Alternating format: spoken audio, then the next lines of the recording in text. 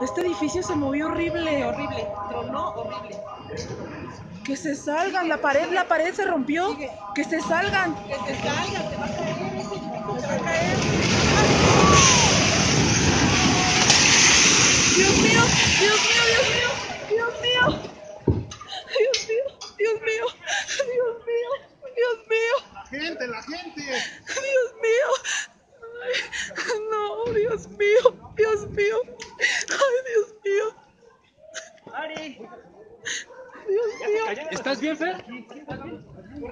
Desde la ciudad de Cancún, México, estamos informando para ustedes en Costa Rica del terremoto que se dio en el día de hoy. En realidad en esta ciudad apenas si se percibió, pero sí en la población se siente mucho estrés, están con la expectativa de lo que está sucediendo en el resto del país.